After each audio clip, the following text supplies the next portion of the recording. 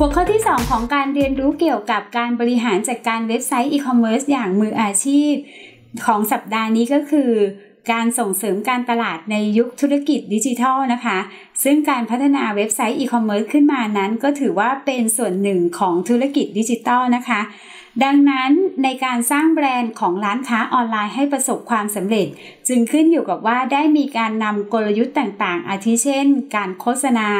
การประชาสัมพันธ์ การส่งเสริมการขาย การตลาดทางตรง หรือการขายผ่านพนักงาน มาช่วยในการกระตุ้นหรือส่งเสริมการตลาดของธุรกิจออนไลน์ของเราหรือไม่นะคะ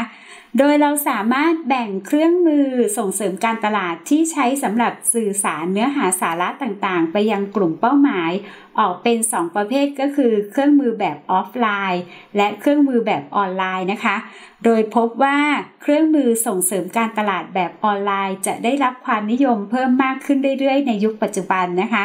ทั้งนี้ก็ด้วยเหตุผลหลายประการค่ะ โดยจะขอเริ่มจากประเด็นแรกก็คือ ต้นทุนต่ำ ซึ่งมีค่าใช้จ่ายที่ต่ำกว่าการโฆษณาหรือการประชาสัมพันธ์ด้วยสื่ออื่นอยู่มากนะคะ ปัจจุบันราคาระดับหลักร้อยบาท หรือหลักพันบาทก็สามารถโฆษณาได้แล้ว อีกทั้งยังสามารถแก้ไขได้ง่ายอีกด้วยค่ะถัดมาค่ะมีรูปแบบที่หลากหลาย สามารถทำในรูปแบบของตัวหนังสือ เสียง ภาพนิ่ง ภาพเคลื่อนไหว หรือวิดีทัศน์ได้เลยนะคะ ประเด็นที่ 3 ก็คือการเจาะจงเป็นรายบุคคลนะคะ สามารถจัดทำโฆษณาที่เป็นการโต้ตอบสองทาง และก็ตรงกับกลุ่มเป้าหมาย หรือแม้แต่ความต้องการของแต่ละบุคคลที่ต้องการสามารถจัดทำโฆษณาเป็นรายบุคคลได้เลยนะคะ และสุดท้าย การวัดผลสามารถทำได้ทันที จะมีโปรแกรมที่สามารถวัดอัตรา การคลิก แล้วก็จำนวนหน้าที่เข้าชมต่างๆ สามารถวัดแล้วก็ประเมินผลออกมาได้ทันทีเลยค่ะ นอกจากนี้เรายังพบว่าเครื่องมือแบบออฟไลน์สามารถเชื่อมต่อ และมีปฏิสัมพันธ์กับกลุ่มเป้าหมาย ให้ไปยังโลกออนไลน์ได้สะดวกมากขึ้น อย่างเช่น ปัจจุบันมีการใช้ QR code บนสื่อสิ่งพิมพ์ และโทรทัศน์ เพื่อให้เราสามารถเข้าชมเว็บไซต์ และเนื้อหาบนโลกออนไลน์ของแบรนด์นั้นๆ ได้สะดวกและรวดเร็วมากยิ่งขึ้นไงล่ะคะ ซึ่งรูปแบบและเทคนิคการทำการตลาดออนไลน์ในปัจจุบันมีอยู่หลากหลาย มีอยู่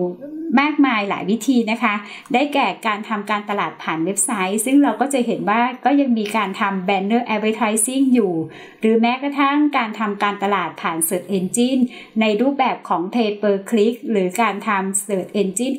optimization นะคะ การตลาดผ่านทางอีเมล การทำการตลาดผ่านทางโซเชียลเน็ตเวิร์กนะคะ แล้วก็เรื่องของการทำการตลาดผ่านอุปกรณ์พกพานะคะ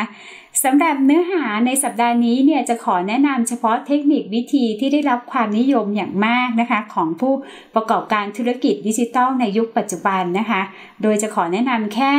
สามวิธีการก็คือการตลาดผ่านทางอีเมล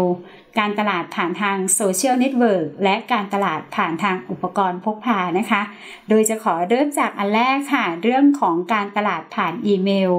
ซึ่งดูเหมือนว่า email marketing จะเป็นช่องทางทางการตลาดที่มีมานานมากแล้วใช่ไหมคะ และเราก็ยังเห็นอยู่จนถึงปัจจุบันนี้ ท่านเชื่อหรือไม่คะว่า การตลาดผ่านอีเมลเป็นการลงทุนที่คุ้มค่ามากที่สุด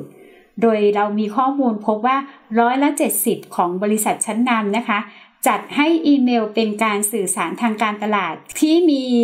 การคุ้มค่าต่อการลงทุน โดยมีค่า return on investment นะคะ ที่เขาเรียกว่าค่า ROI นะคะ ย่อมาจากคำว่า return on investment เนี่ยมากที่สุดเมื่อเทียบกับสื่อออนไลน์ชนิดอื่น ๆ นะคะ ซึ่งข้อดีของ email marketing ก็คือ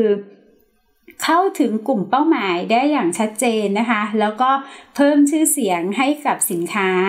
สร้างฐานข้อมูลลูกค้าใหม่ได้ไม่รู้จบนะคะ รวมทั้งยังสามารถรักษาฐานข้อมูลลูกค้าเดิมได้อย่างสม่ำเสมอนะคะ มีต้นทุนที่ต่ำผลตอบแทนสูง สร้างการบอกต่อได้ด้วยและสะดวกรวดเร็วนะคะจะเห็นได้ว่าปัจจุบันในเรื่องของการส่ง email marketing นะคะ ไม่ได้ทำเพียงแค่เป็นการส่งอีเมลเท่านั้นนะคะ แต่จะมีการวางแผนกลยุทธ์ทั้งทางด้านเนื้อหา รูปภาพ สีสัน รวมทั้งมีกลยุทธ์ กระตุ้นให้ผู้รับเนี่ยตัดสินใจในการทำบางสิ่งบางอย่างได้ด้วยใช่ไหมคะ ในปัจจุบันนี้ ลักษณะของ email marketing ที่ดีควรเริ่มจากอะไรคะ สิ่งแรกที่เราเห็นคืออะไรคะ หัวข้อใช่ไหมคะ หัวข้อของอีเมล เพราะว่าเป็นด่านแรกที่จะทำให้ผู้ใช้หรือผู้ได้รับเมล ตัดสินใจที่จะคลิกหรือว่าเปิดเมลนั้นๆ ใช่ไหมคะ ดังนั้นหัวข้อของอีเมลที่ดีนะคะ อันแรกก็คือจะต้องไม่ฉุดฉาดหรือว่าลุกเล้าเกินไป เพราะจะทำให้ผู้รับรู้สึกว่า ถูกคุกคามมากเกินไปค่ะ ใช้ถ้อยคำที่รัดกลุ่มและชัดเจนนะคะ แล้วก็รวมไปถึงอธิบายจุดประสงค์ด้วยคำง่ายๆ ไปเลยค่ะ เช่น ลดล้างสต็อกลดทันที 50%ทุกรายการนะคะ ประมาณนี้ไปได้เลยนะคะ นอกจากนั้นในด้านของเนื้อหาค่ะ ต้องสอดคล้องกับหัวข้อของอีเมลด้วยเช่นกันนะคะ โดยจะต้องจำกัดข้อความให้กระชับไม่เยอะมากเกินไปหรือว่ายาวเหยียด ต้องกระชับแล้วก็ให้ได้ใจความสำคัญทุกอย่างให้ครบถ้วนนะคะ ถัดมาคือเน้นไปที่เป้าหมายหลักเลยค่ะ ว่าต้องการอะไร เช่นต้องการขายก็ต้องเน้นไปที่โปรโมชั่นเลยนะคะ บอกไปเลยว่ามีโปรโมชั่นอะไร หรือถ้าต้องการโปรโมทแบรนด์ก็เน้นไปเลยบอกไปเลยค่ะว่า แบรนด์ของเราดีอย่างไร มีจุดอ่อน มีจุดแข็งอะไรบ้าง บอกตรงๆไปเลยนะคะ ถัดมานะคะก็คือการเชื้อเชิญให้ผู้อ่านอยากเข้าร่วม หรือว่าอยากอ่านต่อ โดยกระตุ้นให้ผู้รับมีความรู้สึกอยากจะเข้ามามีส่วนร่วมกับอีเมลฉบับนี้นะคะ และก็หัวข้อสุดท้ายก็คือให้ความสำคัญทั้งรูปภาพและเนื้อหาเท่าๆกันนะคะ เพราะถ้ามีส่วนใดหรือส่วนหนึ่งเนี่ยมากเกินไปหรือน้อยเกินไป ก็อาจจะทำให้ขาดสาระสำคัญ หรืออาจทำให้เกิดความน่าเบื่อได้นะคะสำหรับประเด็นสุดท้ายนะคะของ email marketing ที่อยากจะแนะนำก็คือ สิ่งที่ไม่ควรทำในการทำการตลาดผ่านทางอีเมลก็คือ ขอใช้คำว่า ไม่ควรส่งอีเมลแบบมั่วซั่วนะคะ ในที่นี้ก็คือ การส่งอีเมลโดยไม่ได้ศึกษากลุ่มเป้าหมาย ว่าเป็นผู้ที่สนใจข้อมูลข่าวสารของเราจริง ๆ หรือไม่นะคะ โดยใช้วิธีการไปหาซื้อรายชื่ออีเมลจากฐานข้อมูล ที่ไม่มีการกลั่นกรองหรือพิจารณาก่อน ก็จะทำให้อีเมลของคุณเนี่ยกลายเป็น spam mail นะคะ สร้างความรำคาญให้กับผู้รับไปนะคะ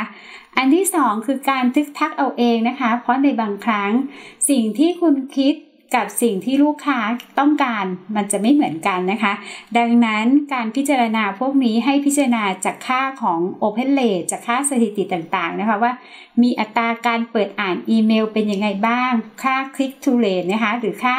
CTR นะคะก็คือค่าอัตราการคลิกผ่านเป็นยังไงบ้างนะคะ ประกอบในการตัดสินใจนะคะ และอันที่ 3 คือบอกเลิกไม่ได้ อันนี้ต้องระวังนะคะ ต้องให้โอกาสหรือต้องมีโอกาสให้ลูกค้าสามารถยกเลิกการรับข้อมูลข่าวสารของอีเมลของเรา ซึ่งเป็นการแสดงความรู้สึกแสดงความบริสุทธิ์ใจทำให้ลูกค้ามีความรู้สึกที่ดีนะคะว่า ไม่ใช่อีเมลที่มาสร้างความลำคาญให้กับเขานะคะที่กล่าวมาทั้งหมดนะคะเป็นเรื่องของการตลาดผ่านอีเมลนะคะ ซึ่งเป็นส่วนหนึ่งของการส่งเสริมการตลาดในยุคธุรกิจดิจิทัลนะคะ หลังจากนี้ไปเนี่ยเดี๋ยวเราจะได้ศึกษาต่อกันในเรื่องของการตลาดผ่านทาง social network แล้วก็การตลาดผ่านทางอุปกรณ์พกพานะคะ ว่ามีประเด็นอะไรบ้างที่เกี่ยวข้อง ซึ่งจะช่วยให้เราสามารถบริหารจัดการเว็บไซต์อีคอมเมิร์ซของเราได้อย่างมืออาชีพนะคะ ก็อย่าลืมไปศึกษาในหัวข้อถัดไปกันนะคะ